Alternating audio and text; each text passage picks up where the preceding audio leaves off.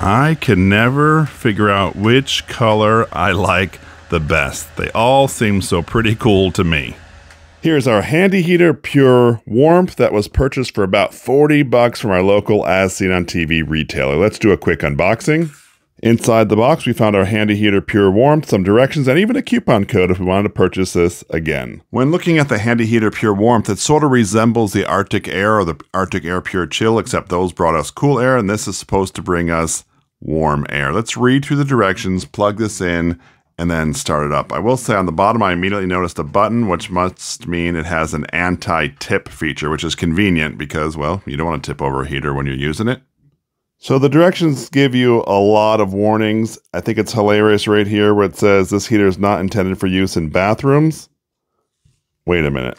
I thought on the box it said something right here. Great for bathrooms. Why do the directions always contradict the box? Before we go much further, if you're new here, my name is Jeff, and this is Jeff Reviews for You. I review a whole lot of products. I specialize in reviewing as seen on TV items. Every once in a while, I do a little bit of a DIY just because I like to. If that aligns with something that you're looking for online, I would love it if you would subscribe to my channel and click the bell below. That way you're notified every time I release a video just like this one. One more thing, don't forget to check down the description for my social media, Instagram and Twitter. I would love it if you would follow me there too. Now let's get right back to testing out the Handy Heater Pure Warmth. On the top of the Handy Heater Pure Warmth, we see that there are two buttons. We have a power button, well, which turns it on, and a button that turns the light on. So you cannot turn the light on unless you have the heater on itself. The heater has three settings, high, medium, and low. Let's set it down and turn it on. Ooh, when you turn it on, it immediately glows orange. Let's see what other colors this has um, while this is heating up. It, I definitely feel instant warmth right here. Can you see this glowing in there? Wow. That's probably the LED lights just like the original handy heater, but still pretty cool. Let's push the buttons to go through the lights. Oh, that's cool. I actually do like these different lights. And white, and then the last one, I know it's flickering there on the screen, but what's going to happen is it's supposed to alternate between the different colors. It does not flicker in person.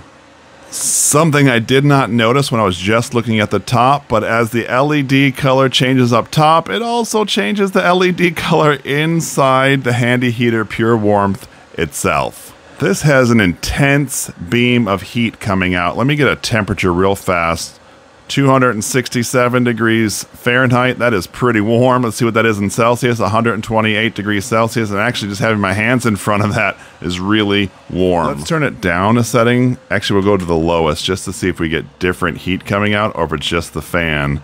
Oops, we're still in Celsius. Yeah, it looks as though the temperature coming out is also decreasing, so your three different levels does not just have to do with fan speed, but it's also the amount of heat that's coming out. Let's test the anti-tip feature to see what happens. Oop, as soon as I moved it over there to tip it, it turned off, and then if we set it back down, we actually have to manually turn it back on. I like that feature. And of course you saw that the color reset from blue back to orange after I turned it back on. So, tell me, have you used any of the Handy Heater products, either this one, the original Handy Heater, or the Heatwave? Let me know your thoughts down in the comment section below. I would love to hear from you.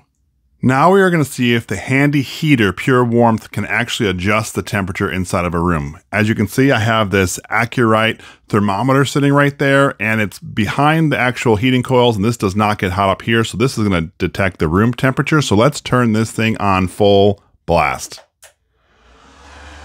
We are going to check back in in 30 minutes. This room size that I'm in right now is 12 by 14. There is no other heat source and the door will be closed. So in 30 minutes, we're going to see if this temperature of 66 degrees Fahrenheit went up.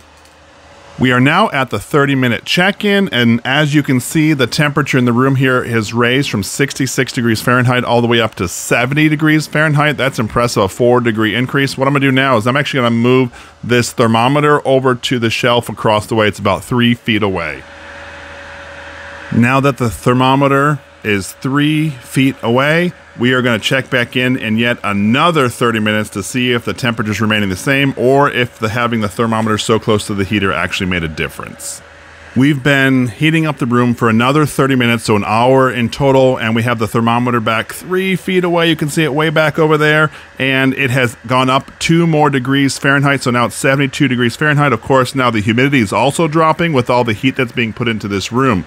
I've been pretty impressed with this little unit, and as you can see from the temperature, it does raise the temperature of a room. Um, it's just like any other space heater, but I really do like the extra things like the lights that go with it, different colors, and then the three different modes for heat. I've had this heater on for the past two hours. I don't know if you can see that thermometer back there, but it's at 70 degrees Fahrenheit, so it's gone down a little bit in temperature, but really this room has kept warm the entire time. It's actually getting hot in here. I'm going to turn this thing off. In this video, we were taking a look at the Handy Heater Pure Warmth. It's an as seen on TV product. So what did I think of it? Well, first things first, it was about 40 bucks, and that's a little high for me on the as seen on TV price point, but that being said, it's really right in line with other space heaters.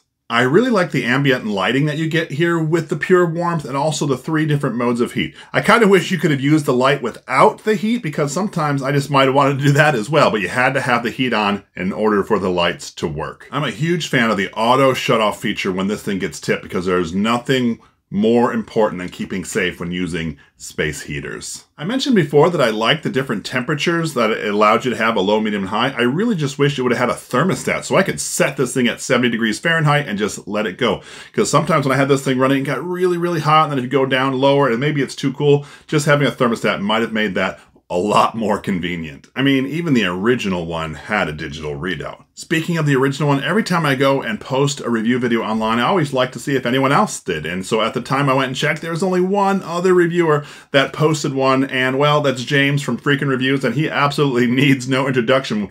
And his video is pretty neat because he compared his original review of the handy heater, what he would have done then versus now. As to this one, it was pretty cool. I'll link that down below. Anyway, that was my entire review of the Handy Heater Pure Warmth. If this is something that interests you, I'll also put it down below. This is Jeff with Jeff Reviews for You. As always, thanks for stopping by I hope you have a great day. Two more things I wanted to show you. This is the filter that it comes with, and I guess this is where the pure part comes from because as it's running, it sort of catches any allergens or maybe dust. Um, this is hand washable. You can wash it with water. Just make sure it's completely dry before reinstalling it. The last thing is the manufacturer claims that this is cool touch. And I will say when it's running, the side, the top, and the other side are relatively cool to the touch and you do not feel excess warmth. The back, the bottom, and the front, however, get really, really hot really uncomfortable. You definitely don't want to touch it. So my thoughts are if you've been running this for a little while, let it cool down for a few minutes before moving it. I really do appreciate that you stayed around for my entire review of the Handy Heater Pure Warmth. You know what? I've reviewed two other Handy Heater products. So what I'm to do is I'm going to link the original review right up here. And I also reviewed the Handy Heater Heat Wave, and I'm going to link that right here. And I would love it if you would click one of these links. And by the magic of the internet, I'm going to join you right here or here. So go ahead, click one. They're safe, I promise.